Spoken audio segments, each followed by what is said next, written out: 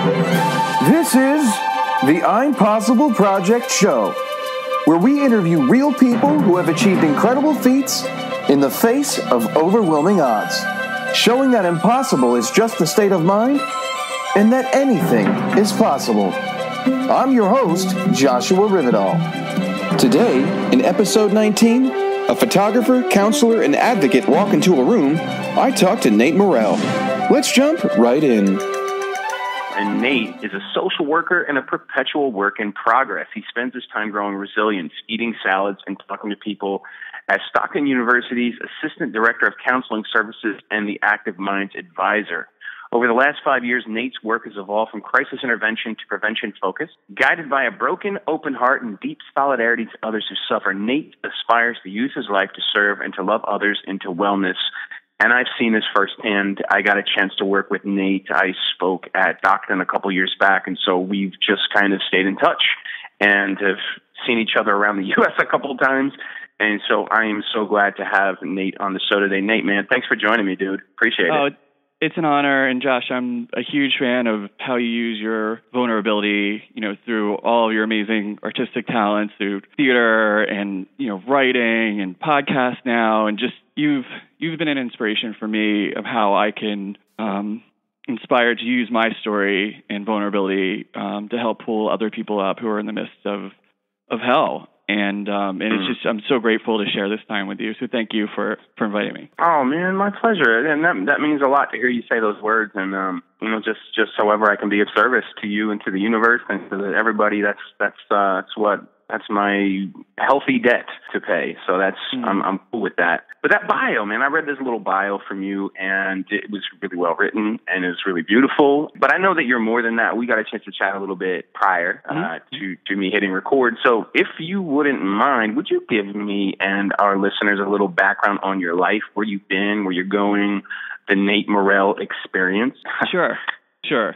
I would love to do that. Um, so I was always kind of an, an anxious kid, and I think I was just kind of wired to be anxious. I was also sensitive and kind of hyperactive, and um, I was able to kind of cruise by school until probably ninth grade, where I had to actually start using executive function and doing homework, and I was just lost. I like my heart wasn't there. I couldn't see the purpose of it. Uh, my parents had separated at the time, so I really, um, I was really just lost. Really couldn't find any grounding, and I ended up going to a lot of electronic music festivals like in New York and Baltimore and Philly. And I think looking back now, I can kind of see that I was looking for some kind of connection, some kind of love, and some kind of deeper connection, like a almost like a oneness or spirituality that that I didn't have, that I didn't find in church growing up. But I was really lost, and I kind of struggled on. I switched different high schools, and th- then I found black and white photography, which I completely fell in love with. It was like this beautiful mixture of um, art and science, and I can go in the developer and watch these pictures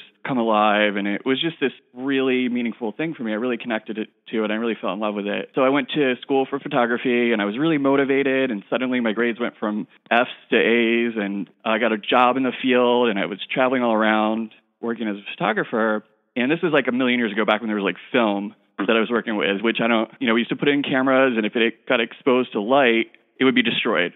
So of course I did that, like a really important account. I uh, got fired, and I was just devastated. It was like the first time in my life where I wasn't working full time or in school full time, and I couldn't find any uh, photography work. And I was on unemployment, and I just it was really dark, like really really dark. Uh, I was in my parents' house to make it worse, you know.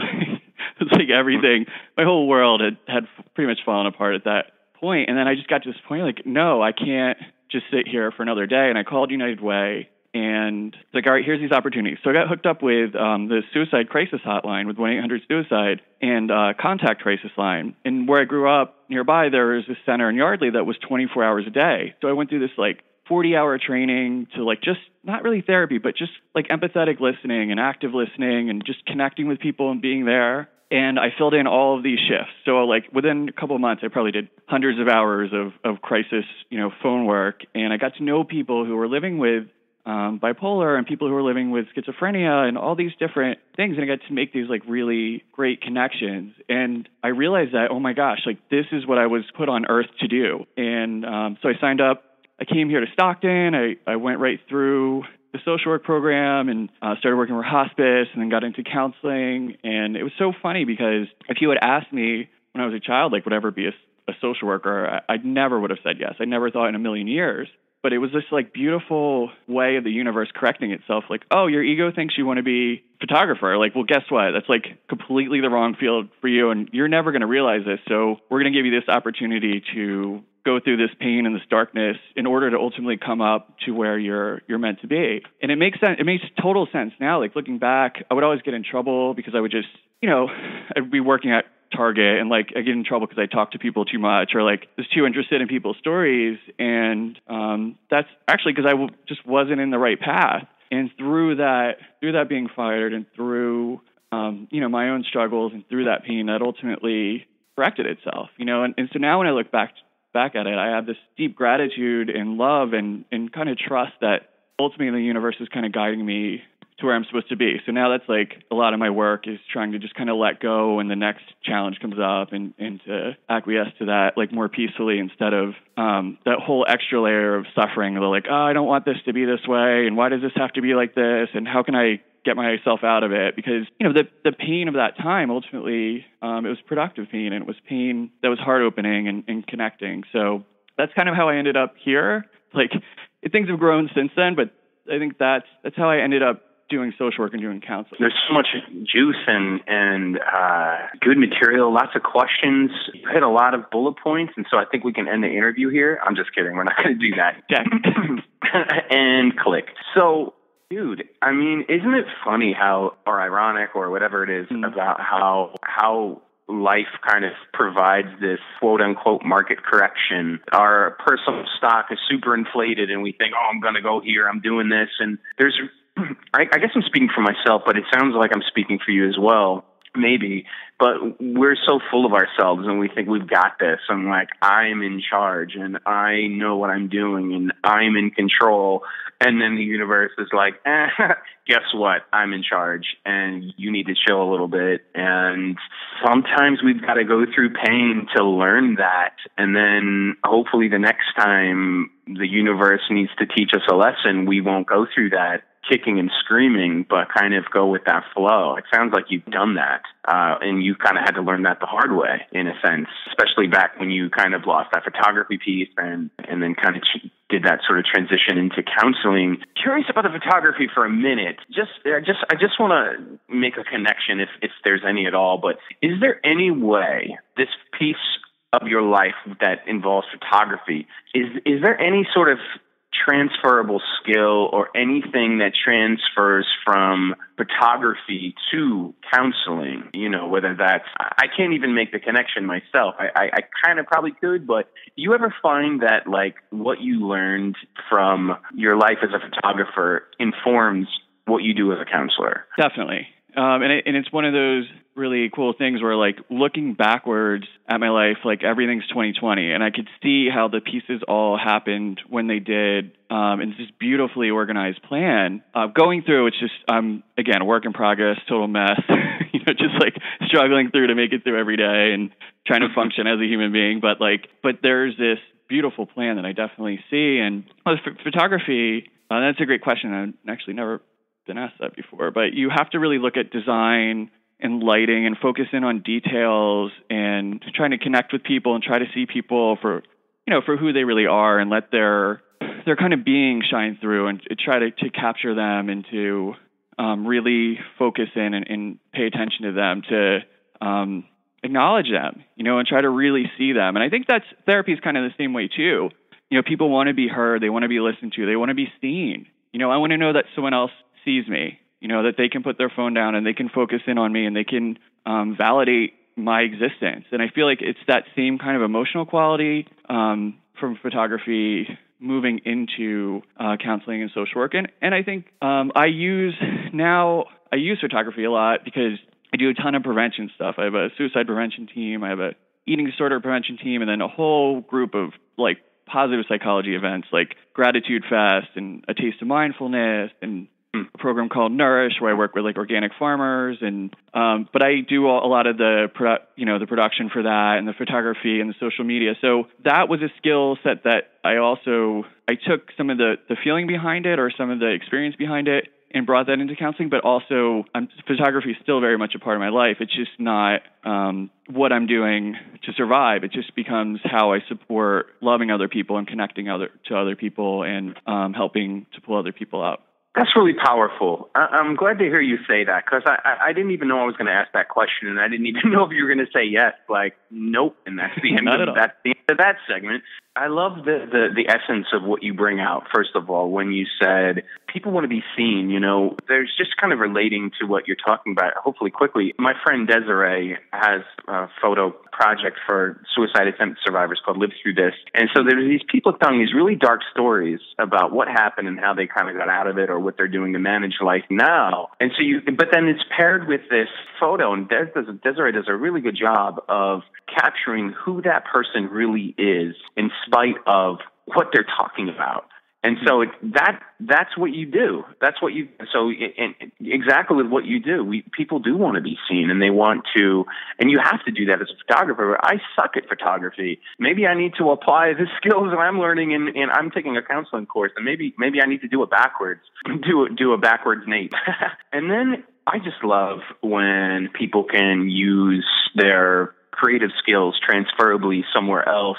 That's what I do. You know that. Um, yeah. I'm not fully pursuing. I'm not pursuing acting or playwriting or anything like that full time or at all. It's not what I do to survive. But you know, I can sing show tunes while I'm with, you know while I'm getting some administrative work done. Or I mean, I still do the play when I you know sometimes when when that's the kind of programming that people want. and They want some suicide prevention on the back end of it. But what I do and my creativity definitely is infused into my work, and I love to hear that yours is. And in fact, I'm even more grateful the fact that you're using these alternative methods to reach people with with Nourish and with you know through social media and you know, these important touch points where where a lot of folks aren't doing that, and it's just I think it's because there's a lack of bandwidth. But within our field, suicide prevention, mental health, we need more positive stories and and hitting different media outlets where it's not a boring or or sad public service announcement. Okay, so question, back to questions. So you had this experience in your life where the, the universe kind of corrected your system and said, no, no, not photography, counseling. And you went through this kicking and screaming for a moment or whatever that was. And then you found that transition and you moved. Have you been through anything? I, I don't, we can know the details or not know the details. I don't want to pry. This is an interview. Has that served you well going forward? saying, I'm going through another correction or another correction or another correction, like, and maybe I'm not going to be as is I'm not going to be kicking and screaming like I did when when I made that first transition. Has that served you well, and if so, how? It's a continual work in progress. I mean, that's the ultimate goal is to still have the pain and to see the pain and, and feel it, you know, to feel my feelings fully, but not to get lost in it, not to become the pain and get kind of stuck and isolated in that that spot. I also um, I didn't mention this, but at the same time, uh, when I was going through that kind of career transition everything, I was getting these horribly paralyzing anxiety attacks that would happen like a half hour after I'd fall asleep every night. So it wasn't like I was walking around like thinking about stuff. I would I would go to sleep and I would just be jolted awake and you know my heart would be pounding out of my chest and I just this feeling of this is it. This is this is you dying and it would happen like every night. So um that was hell. I mean that was really you know some people face death a couple times and they die, but like this was like every night for months. And so that was also going on during, just like paint the mm-hmm. context of this time. Um, but then I was like, oh my gosh, I'm I'm dying. I need to get ready for this. So like, who knows about death? And started looking to like mindfulness meditation, and I'm like, all right, well the Buddhists they seem to know this stuff. So I threw myself into into meditating. I would go on you know retreats and go and stay at um, you know meditation centers. But I had like this super intense drive because I really felt like this is it. You know that that any day I was I was probably going to die, and I really needed to figure out what was at the core of life. You know what was this all about? Um, am i ready to die? Like is my life in that place? And it was like this really really intense drive for someone like in their early 20s and it was it really it was like just like pain that that words don't really describe. Just like the terror, and it's common. I mean, panic attacks are obviously common, but um, that was all that was going on at the same time. And um, now I look back at that with gratitude too, because that drive to figure out, hey, like, what are you doing, and are you ready to die, and um, are you at peace with the world? Do you understand why we're here, and what like I didn't get to, to kind of wrestle with that in my 40s or 50s or 60s. Like it was really intense. So so, but now looking back at that, I'm I'm super grateful for that drive because it, it brought me places that I wouldn't have pushed through before. Um, and it didn't kill me. I think I got to a point where I was just finally like, all right, look, if you're going to kill me, kill me. If not, I'm going to go on and live. And, uh, and it didn't. And so like now, you know, I still get the pain. I still struggle. I still fall on a daily basis, but, um, I'm detached from it a little bit where I can see it happening now. Like, oh, okay, there's the anxious mind. Oh, there's my depressive mind. Like, I can see it and not be it. You know, so it's like, yeah, there's, I'm never going to be totally away from anxiety and depression and, and all these other things that I struggle with, but like, I could see them happening now and not, I'm not them. I'm not in the middle of it. It's like, oh, okay, here it is. So it's, there's a little bit of space now, which I didn't have in my early 20s. And I'm also, I think, a lot more at peace in my own skin. That was something really beautiful about my 30s is just kind of like letting go of the work in progress and, you know, of, of thinking I was going to kind of like be something, like some perfected version of myself and just like kind of accepting myself for who I am. You know, all the whole all my challenges and my strengths and um so I think I'm getting better at at like not fighting the pain, but the pain is certainly still there. I'm a lot more comfortable with with seeing it and not being it now, and and having more kind of wisdom uh, with experience. And I think that when you go through something for the first time, especially if it's if it's painful, if it's anxiety or it's depression or whatever, like you don't know that it's going to stop. You don't know what it is, and and it's so powerful that it could almost it could just be paralyzing or overwhelming. But you know, the hundredth time that you've gone through something, it's a little different than the first time. So I'm every all of my growth has been through pain. You know, I'm just not. Mm. I don't know if I'm just not evolved enough to like grow completely through love and like just seeing other people fail and be like, oh, okay, well now I, I don't have to learn this the hard way. Like I just there's something about me. That I guess I love learning things the hard way, but slowly I'm learning and slowly, you know, it's like I'm I keep getting up and pushing forward and and letting go. Um, and I think that's it. You know, just love and let go and and I keep coming back to that, you know, a thousand times a day. Love and let go, love and let go. But um, I think I'm getting maybe like a half a percentage a year, like on a good year, I guess. I don't know. Um, yeah. It's tough. I mean, life is tough. It it's just there's no easy ways through this, and and you know even for someone whose job to like help other people and support them, it's a struggle for for me too. On the other side, you know, on the other side of the couch. So um, I get it, you know, and I think that doesn't make me a, a bad counselor. I think being connected to that pain and very aware of where it is inside opens me up to someone coming in and them being able to go to that place too. You know, because it's not something I'm disconnected from. It's something that I live, and um, and I could see that in someone else and allow them to to be themselves and and to um, just kind of hold space for that. Like, hey, we're both here. We're both human beings. We're both struggling. We're both on this earth. You know, it's not a power differential thing. We're here supporting each other. What do we do? You know, how do we how do we make it through this together? How do we uh, survive and thrive and um, so it's cool. It's definitely a journey. I guess I'm getting a little bit better. I don't. I don't. You might need some like Dude. outside people to verify that or not. I don't know if I'm the best person to to verify that. well, my my thought process while you're towards the end of, of you speaking is just that you're a beautiful person, and then there's this uh, because of because of the the mindsets the mindset and the mindsets that you choose to live by. I love the love and let go. That's that's going to be something I'm going to take with me from this from from our talk because I know I need to be reminded of that every single day, every single moment. Probably I, I get impatient over certain things, and then I'm thinking about the way you learn lessons. You're like I got to learn things the hard way, and I think I think there's you it just makes you human, human, Nate. Because I, I feel the same way. I'm like, dude, do I really have to go through this again or something else? And every right. time I go through something, I learn something. And I think we as human beings gravitate towards comfort, and we'll stay there until something kind of wiggles us or or pries us away from that comfortability. And I'm not sure what the recipe or the I'm sorry, the remedy is for that, but I think sometimes we can anticipate it, and, and you somewhat alluded to that, especially when it comes from inside of our own bodies. Like, I can mm. see this episode coming on. I can see that one coming on. I can see my depression coming. When and my episodes aren't these like for the most part aren't these deep in the hole kind of thing. It's just this like elongated, like almost like headache behind my eye. And so to kind of give it that analogy, and so when you see it coming, and and instead of kicking and screaming, you're like, okay, I'm, I'm maybe I'll maybe I'll open my arms and hug you instead of like kick at you and hmm. putting your arms out to embrace that rather than because the thing's gonna come at you anyway. It's still hmm. coming, whether you kick it or not. So maybe that maybe that hug will will will will rein it in a little bit. I love I love the fact that you saw you see those anxiety those panic attacks and what you went through in that period as an opportunity as something to be grateful for because it does. It does teach you a lesson. I'm I'm actually grateful for my depression. I'm grateful for the mm. for the difficulties I've been through. I don't want anyone else to experience them. And you and I, in our collective work, are trying to prevent people from suffering and needless suffering. But but I'm so glad to hear that you are a willing participant in turning the lemons in your life into lemonade. And you're like you've got all these different recipes and different flavors. And I don't know, this might be a, a terrible analogy, but lemons in the lemonade is kind of where I'm sticking with. And um, it informs your work. It informs your self development.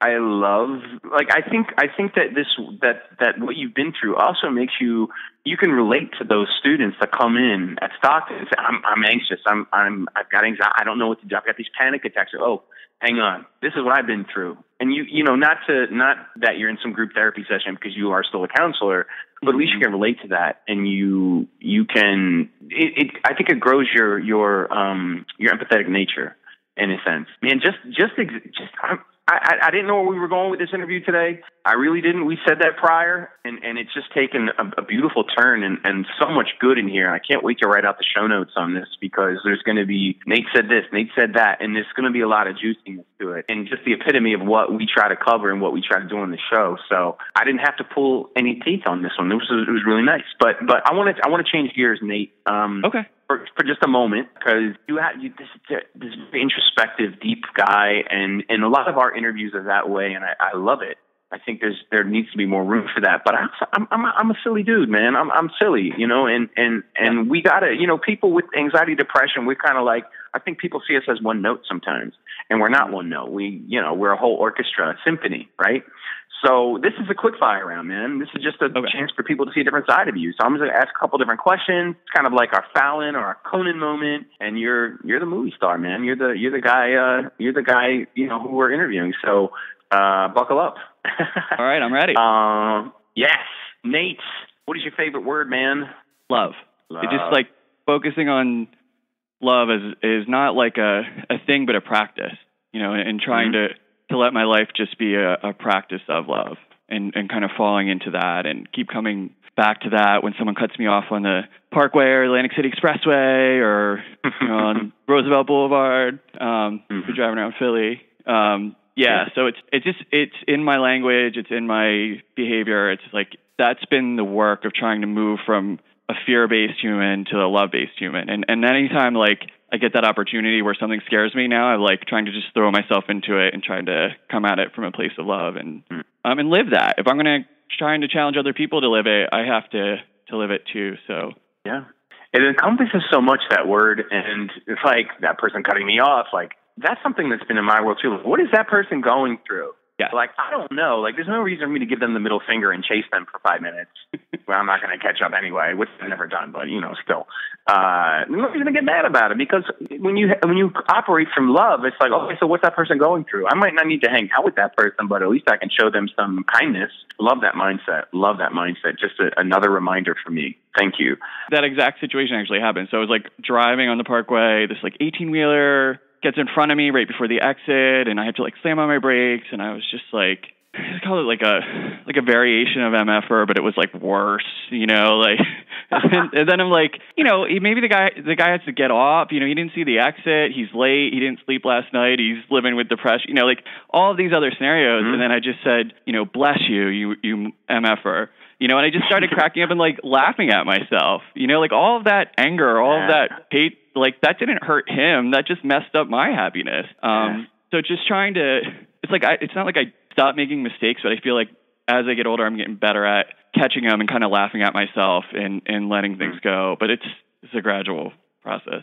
Powerful, powerful. I love that mind, that thought, and that mindset. That it's like anger, grudges, hate. That doesn't do anybody. I mean, unless you like act on them. But beside from that, that hurts you. It doesn't hurt the other person. That hurts you more than it hurts the other person. Uh, another good, good reminder. Um, so Nate, uh, what is your least favorite word, brother man?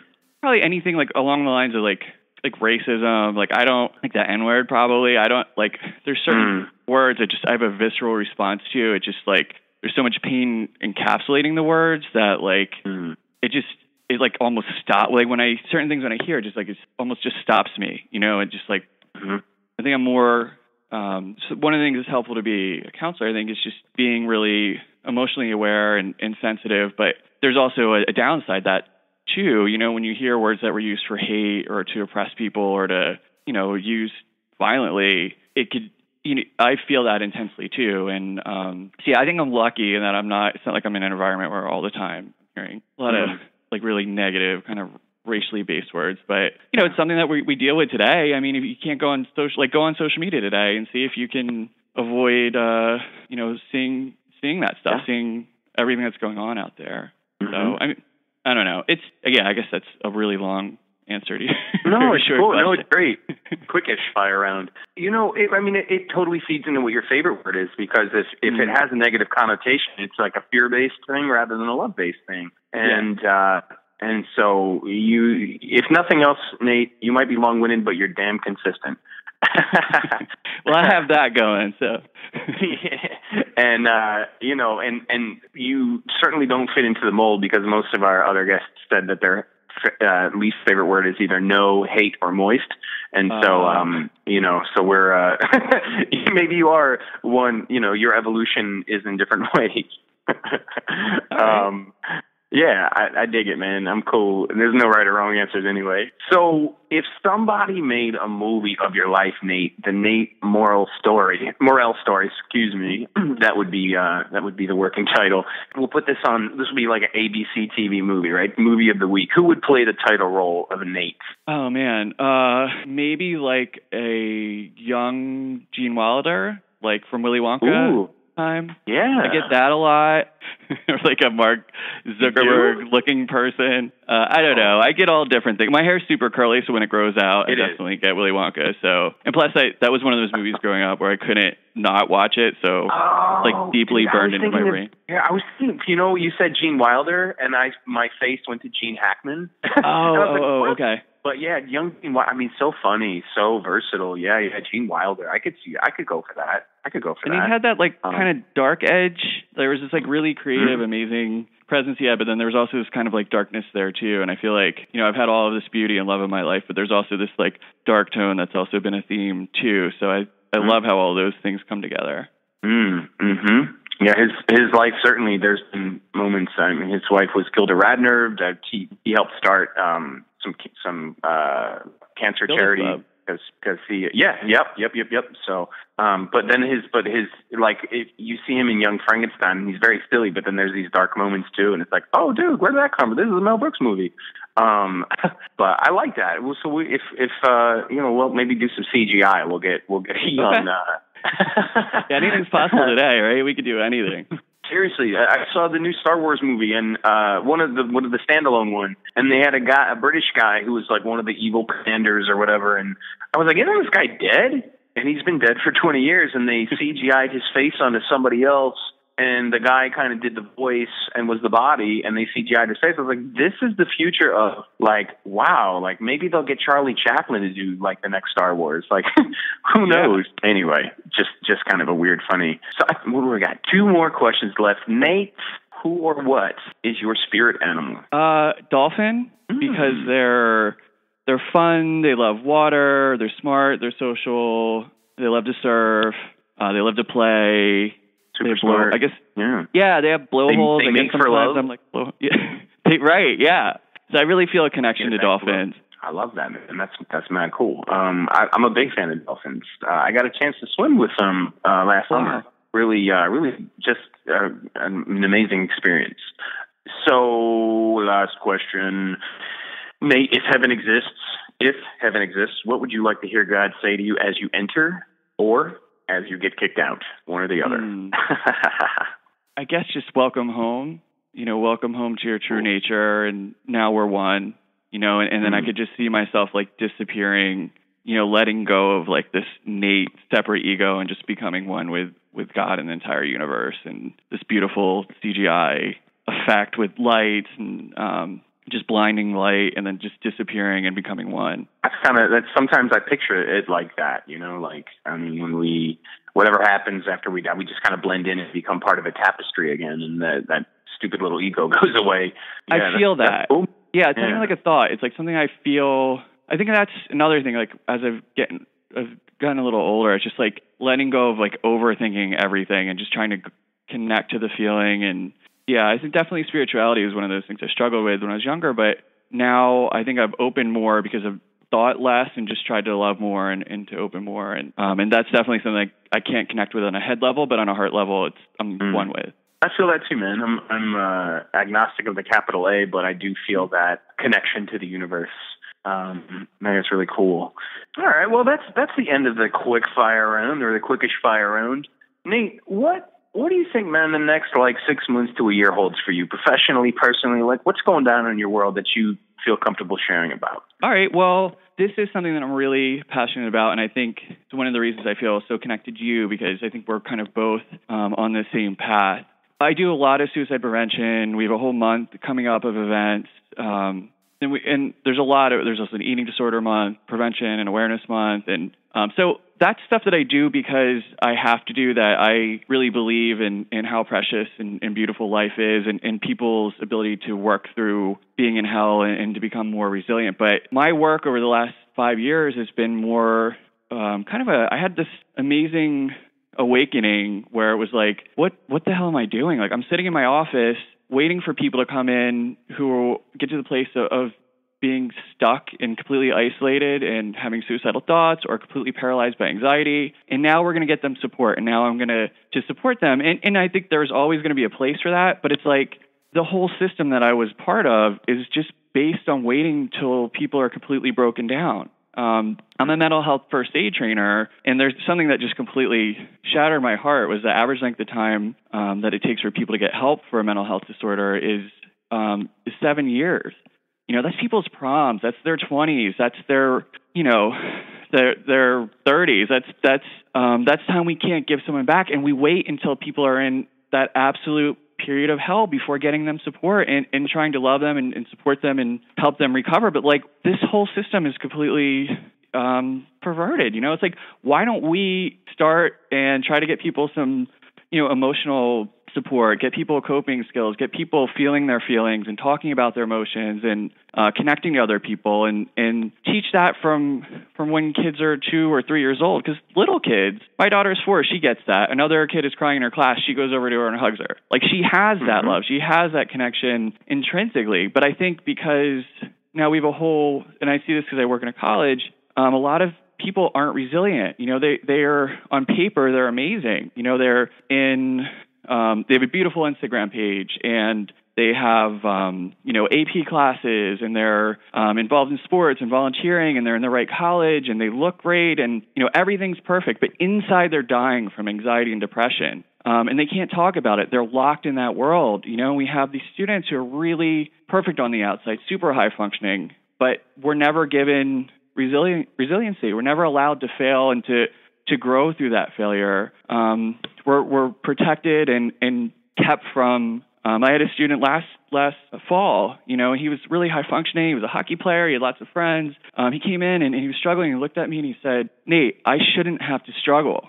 You know, and it's like I felt like I failed him, like we failed him as a community. That he could he could come to being 18 and go to college and never have that um, never be taught the lesson that no, it's okay to fail. It's okay to struggle. Struggles where growth and resilience are, and and that's okay. So I think with me, my whole work is to get out of my office, you know, and to um, work on you know gratitude fest and, and bringing people mindfulness and um, getting people. We do we screened like close to 900 people for our suicide uh, prevention activities. We brought the therapy dogs in, and we have art, and we have um, a lot of supportive things. But trying to catch challenges when they're small um, and getting people supported, getting people connected, um, and not waiting. You know, I, I think that's really the the call. Yeah, I will do suicide prevention if somebody is struggling and they're in that place now. I will go there with them gratefully, um, and and be with them there and hold that space for them any day of the week. You know, and I'm certainly there for that. But at what point do we wake up and say no? You know, this whole system is wrong. You know, it's all based on a, a problem model and waiting until people are completely broken down. Like um, we need to change that. We need to change that today. We need to get the hell out of our therapy offices and get out on the streets and, and write books and have plays and you know all the amazing stuff you're doing. You know, I'm trying to to meet people where they're there. So that's a lot of the work with Active Minds and with the Wellness Center um, and trying to give people the building blocks of wellness and help people thrive, really flourish. Not just like, okay, well, I'm not going to kill myself and, and I'm not paralyzed with anxiety but I'm kind of empty. It's like, no, like I want you to flourish. Like, how do we give people connections to love and to service and, um, you know, social wellness and mindfulness and gratitude? Like, that's the path. And I don't hear that message that many places now. So I want to bring that to life. I want to practice it. I want to bring it to life. And I want to um, do that here at the campus, but also you know, wherever that opportunity arises. So that's kind of something super passionate about, and that's kind of been a major shift for me going from this crisis model to, to a prevention model. And so that's what I'll be doing over the next six months. Gosh, man, that's oh, I love where your head is with that. We got to get people upstream. We got to get them before they're broken down and in crisis with whatever education, um, a hug, just just a different way of speaking and interacting. And I think I think our minds are in the same place on that, and our efforts are in the same place on that. Man, I'm so jelly. I would love, I, like, I'm like, oh, you got this going on and that going on in September, and blah. I'm like that. Like, if I can get my behind in New Jersey, like, I am gonna make a pit stop because it sounds like just some really cool stuff going on uh, over Suicide Prevention Month.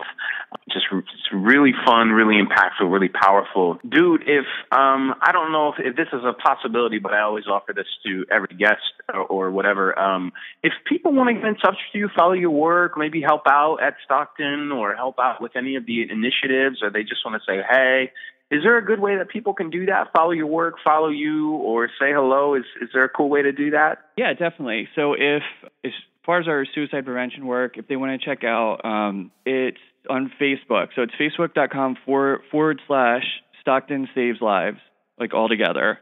Um, they can see all of our outreach efforts for the last three years there. And then also, if they look up Active Minds at Stockton University, they can see all of our other outreach where we had the Gratitude Fest and Taste of Mindfulness and Nourish and Eating to Thrive and all of these other really um, events that I love as well. So you can get kind of the all right, let's let's get the darkness piece, and then we'll also get the light, and um, kind of really see what we're up to. And then you can certainly, um, I'm the administrator on the Stockton Saves Lives page, so uh, you can send me an email in there. Um, or you can look me up at the college. So uh, I'm here, and if there's other people out there that are on you know the same energy level that you and I are, Josh, and they're they're trying to reach out and connect. And if there's anything I could do to help help them up or to support their causes, please reach out to me because um, you know we're all we're all on the same mission, you know, and I think we're all in this together.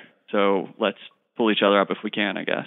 Super duper, man. I, I love it. I'll, I'll get all that in the show notes. But Nate, man, this was this was really cool. I'm really glad I got a chance to do this, and I really appreciate you coming on the show, man. This is really uh, a real honor and a real treat. Me, me too. I could talk to you all day. You know, it's like when you can connect to somebody who understands and, and has the same passion for fighting stigma and connecting other people and, and helping other people. It, it's really um, it's like therapy for me. So thank you for uh, for for giving me that space and and for for you being you. You know, I certainly you know everything that you are and, and that you've done. Well, that that that definitely means a lot, and uh, and likewise, this is kind of like therapy for me, like getting a chance to connect and have a, have a, a big person conversation and, and talk deeply. So uh, so one more thanks again.